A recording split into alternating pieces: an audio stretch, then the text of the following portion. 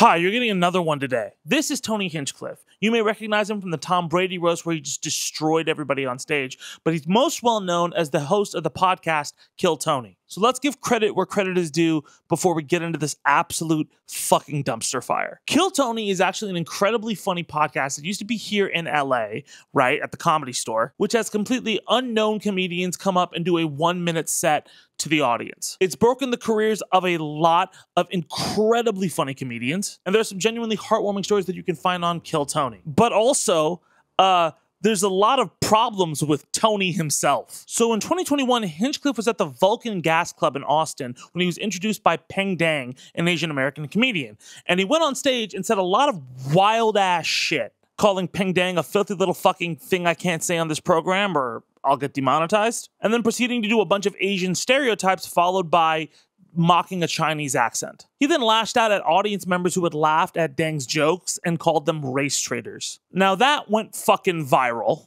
Hinchcliffe was dropped by his agency, he didn't apologize to Dang, and stated before that it was just a joke. We'll get to all of that in a minute. But that leads me literally in a straight fucking line to today, where at Madison Square Garden at Donald Trump's rally, he decided to bring out guess who?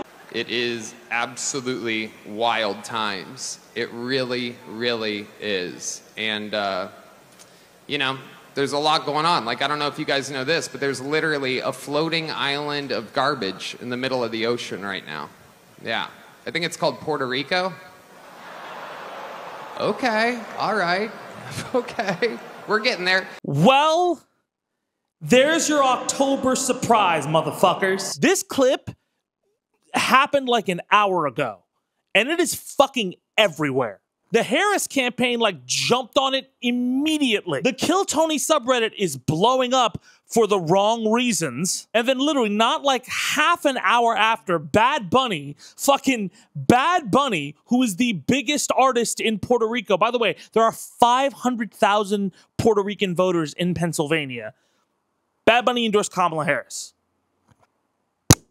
that is that is such a serious unforced error. To, to put this into perspective, obviously the half-baked ceasefire talks and shit like that have been insulting to Arab Americans and Muslims in general. Trump bringing on those Muslim imams yesterday also wasn't met with a lot of praise. A lot of Muslims are really fucking mad. This, and I know it'll be controversial to say, is somehow worse because again, who was throwing fucking paper towels after a hurricane in Puerto Rico. Puerto Ricans are not Democrats or Republicans, but they get really, really pissed when motherfuckers shit talk Puerto Rico like that. And I don't know if a lot of people are going to take it as a joke. I can tell you, Bad Bunny coming out and doing that means it's not going over well. Here's something that I will say, right? Just to add a little bit of nuance, just in case people are trying to think that I can't take a joke, right? Very clearly, in different settings, jokes and bars land different ways, right? I'm a battle rapper. If I go to a battle rap, I'm expecting somebody to say racially charged, fucked up things about my country, where I'm from, my family, all of those kind of things. And it's accepted there because those insults there seem like a sign of respect, similar to when you are roasting at a comedy club. If you're roasting somebody at a comedy roast or a club, it's seen as respectful because it's like, hey, I see you. If you're at a fucking political rally in Madison Square Garden in front of thousands of people caping for a candidate who has called Mexicans rapists and is widely seen as a fascist with ties to white supremacists and Nazis, my guy, that's a fuck up. And honestly, I know it's very easy for people to go like, oh, well, Tony's probably just a Trump supporter. It'd be very easy to compartmentalize that. I think this dude thought his bit was going to land here like it landed at the Tom Brady roast. And the Tom Brady roast was very funny. But obviously, you're supporting a fucking asshole. And secondly, fucking no. If they did this at a comedy club from a politics perspective, I don't think the Harris campaign could have hit them as hard. This was at Madison Square Garden. But I think the lesson that everybody should learn is there is a time and a place for everything. There's a reason Eminem isn't doing Kill You at the Kamala Harris rally. And maybe I'm wrong. Maybe this is just a fun little extra episode you get where nothing comes of it and you can look back and like, oh, actually, that was a fucking miss. Three hours later. Hi. So it got worse.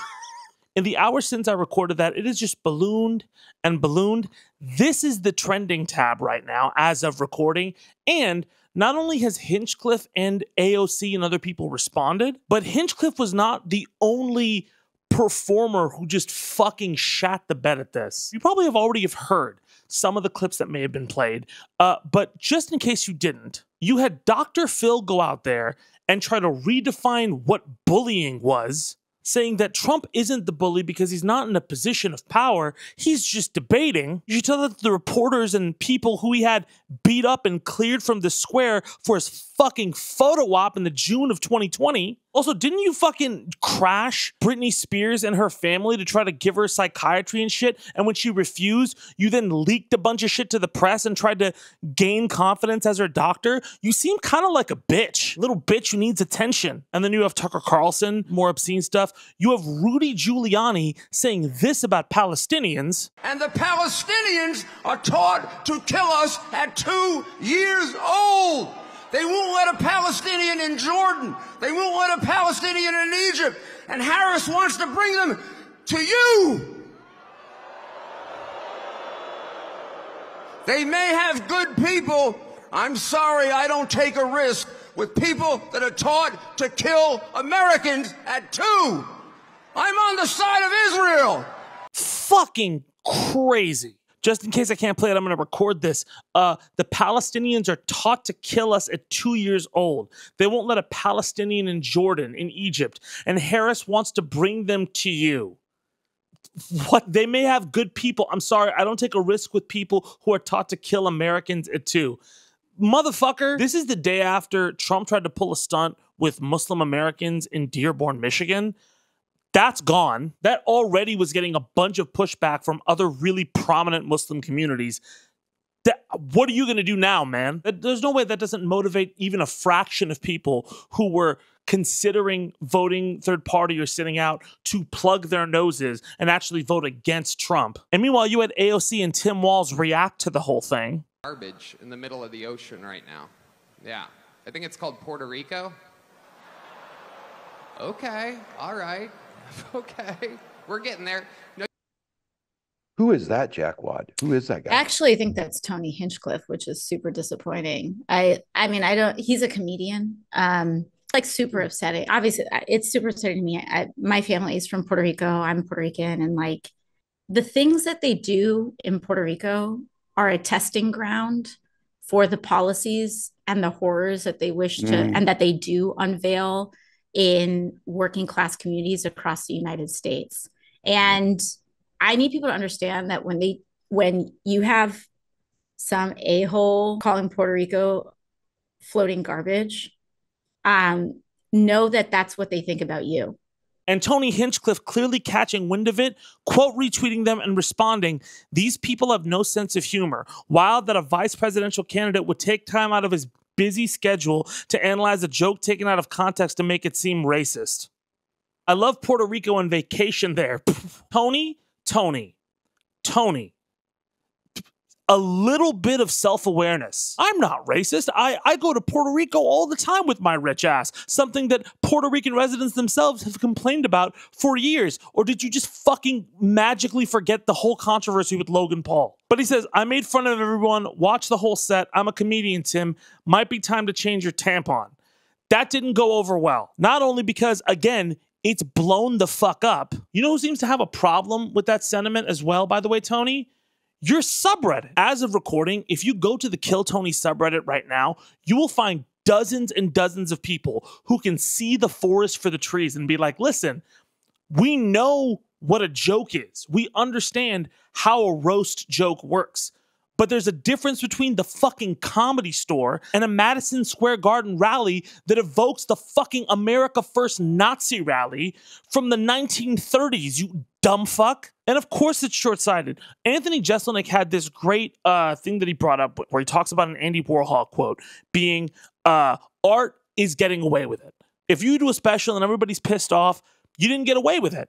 They caught you. Your goal isn't to piss people off, it's to make people laugh. And here's the thing, Tony you pissed the majority of people off. You did that at a political rally. And now, not only do you have Bad Bunny endorsing Harris, you had two other Puerto Rican stars endorsing Harris. You had a bunch, a bunch of support come in. The only time I've seen something kind of similar to this happen is the Trump assassination attempt, where a lot of people just flipped, like, okay, I'm supporting Trump now after that. Or the Mitt Romney binders full of women and you know, uh, like 12% of Americans are moochers or whatever the fuck quote he had. Also, Tony had the audacity to retweet this thing saying that he was just an innocent insult comic and comparing himself to Don Rickles. I can say this with 100% certainty. Nobody is going to confuse you for Don Rickles, Tony. All right?